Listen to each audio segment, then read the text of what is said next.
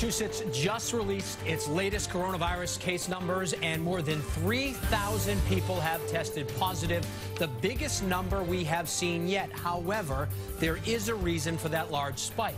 The testing numbers were through the roof, almost double the number of tests of any other day during the crisis. And WBZ's Paula Ebben is here now to break that down for us. Paula? Well, David and Lisa, it is important to bear in mind more people are being diagnosed because, as you mentioned, more people are being tested.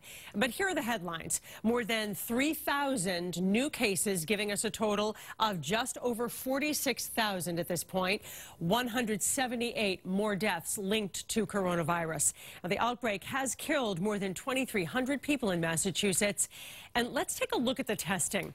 More than 14,000 tests were processed yesterday, and you can see that is a huge increase over how much we were testing before. And the number of tests that were positive was actually down. 21% of people who were tested had the coronavirus. The day before, that was 36%. And one more number to look at as we try to figure out where we are in this outbreak is the number of hospitalizations. That number dropped yesterday. So that's a good sign, but still way too early to tell if it's a trend. David.